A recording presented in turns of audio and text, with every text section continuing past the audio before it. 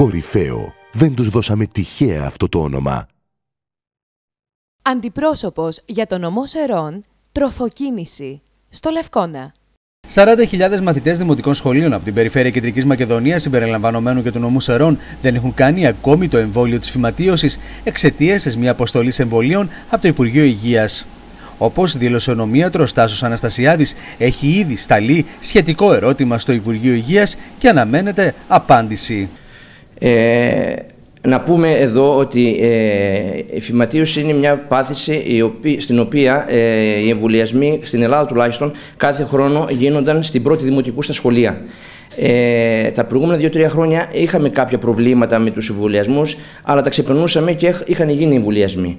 Ε, Φέτος, ε, ακόμα δεν μας έχουν σταλεί εμβόλια από το Υπουργείο ε, για να εμβολιαστούμε, όχι μόνο εδώ στις αίρε, είναι πανελλαδικό το πρόβλημα, σε όλη την Ελλάδα δεν έχουν σταλεί.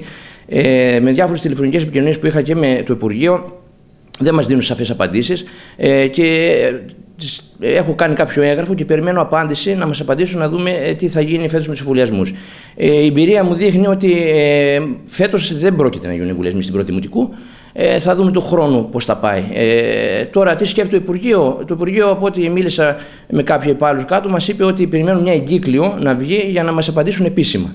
Τι, τι πρόκειται να γίνει με τους εμβολιασμούς στην πρώτη δημοτικού.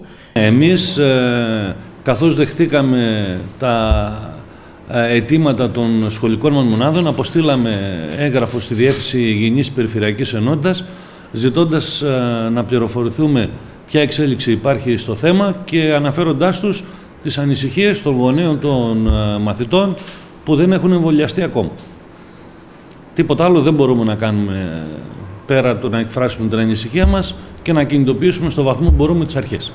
Γιατί ξέρετε ότι ε, η ευθύνη για τον εμβολιασμό είναι αποκλειστικά της περιφέρειας. Να σημειωθεί πως ο αριθμός αφορά μαθητές της πρώτης Δημοτικού, οι οποίοι κάθε χρόνο εμβολιάζονται προκειμένου να προστατευτούν από τον ιό. Ωστόσο, φέτος, για άγνωστους λόγους, δεν έχουν ακόμη φτάσει οι ποσότητες που είχαν προαναγγείλει από τον περασμένο Ιούνιο. Μάλιστα, πέρσι τα εμβόλια είχαν φτάσει εγκαίρως στις 23 Νοεμβρίου.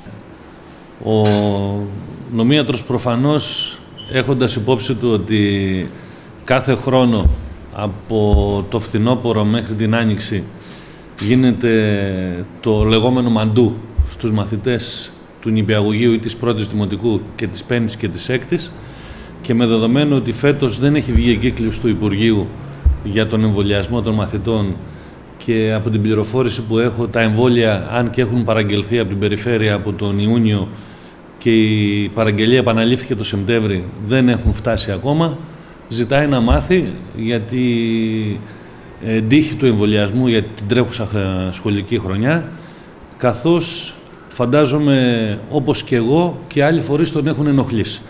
Γιατί πρέπει να σας πω ότι κάποιες σχολικές μονάδες, ε, είτε προφορικά είτε έγγραφα, ε, μας ανέφεραν ότι δεν έχει γίνει ο εμβολιασμός, ο καθιερωμένος ετήσιος εμβολιασμός.